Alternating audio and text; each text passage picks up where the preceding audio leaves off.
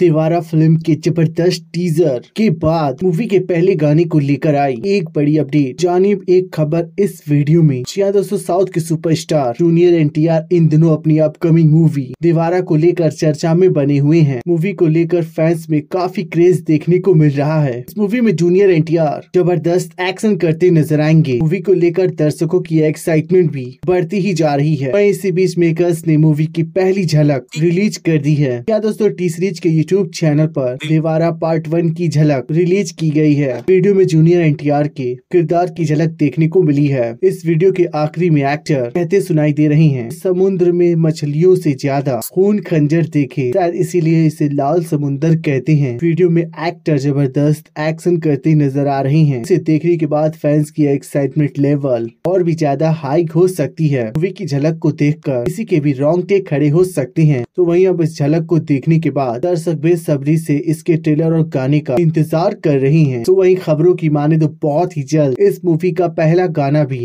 हमें सुनने और देखने को मिल सकता है। या दोस्तों मूवी में एक से बढ़कर एक गाने भी रखे गए हैं जिसे कि अनिरुद्ध ने कंपोज किया है। जिससे यह अंदाज़ा लगाया जा सकता है यह गाने कितने शानदार होंगे। मीडिया रिपोर्ट्स की माने तो इस मूवी में जूनियर एनटीआर और जानवी कपूर के बीच एक आइटम सॉन्ग भी देखने को मिल सकता है जहाँ में पहली बार जानवी कपूर एनटीआर एक साथ नज़र आएँगे। हालाँकि मेकर्स की तरफ़ से कोई भी ऑफिशियल अनाउंसमेंट नहीं की गई है। बताया दोस्तों की देवारा एक pan India action drama movie है। इसमें जूनियर एनटीआर का ज़बरदस्त एक्शन देखने को मिलेगा। यह मूवी दो भागों में रिलीज़ होगी। मूवी में जूनियर एनटीआर के अपोजिट जानवी कपूर नज़र आने वाली है। इसके अलावा मूवी में सैफ अली खान भी अहम भूमिका में नज़र आएँगे। इस पैन इंडिया मूवी का पहला भाग इसी साल पाँच अप्रैल को तेलुगु, तमिल, हिंदी, कन्नड़ और मलयालम में रिलीज़ होगा। फ़िलहाल दोस्तों कितना एक्साइटेड है देवारा मूवी को देखने के लिए कमेंट करके ज़रूर बताओ।